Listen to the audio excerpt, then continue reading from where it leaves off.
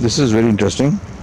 We're getting this clay horizon glacial lake then this fluvial environment feature fluvial feature the sand sand deposits very loose sand very fragile sand easily eroded. So we are getting this depression here. So sand, clay horizons at the top and at the bottom. And this depression we are seeing is all sand and here we are getting these particular sand features. Some some are spherical like this. Spherical but flattened. And others are just flat. Sands this is sand layer. Easy this is sand layer.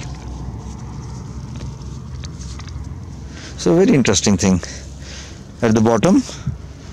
These sand has solidified into spherical nodules flattened but at times we are getting this this uh, somewhat elongated also feature.